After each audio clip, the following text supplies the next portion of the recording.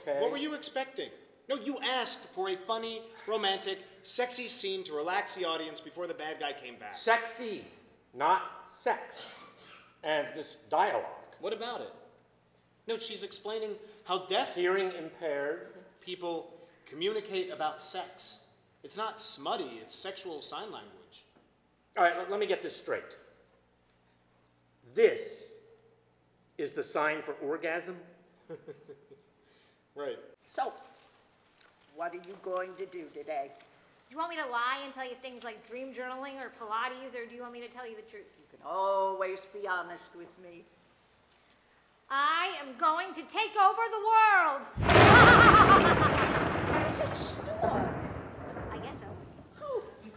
It's a last name. I was gonna say, Please, what are you please, can we just go? Can we just give the guy some money? No. Let's, let's just go home. No, no, no. Old Clark and me are gonna finish this first. So, you ready to try?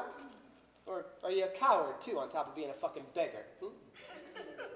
Fine, I'll try. Good.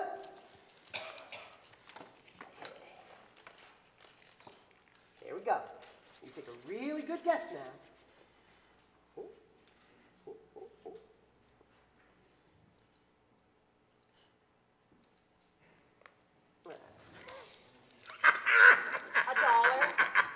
all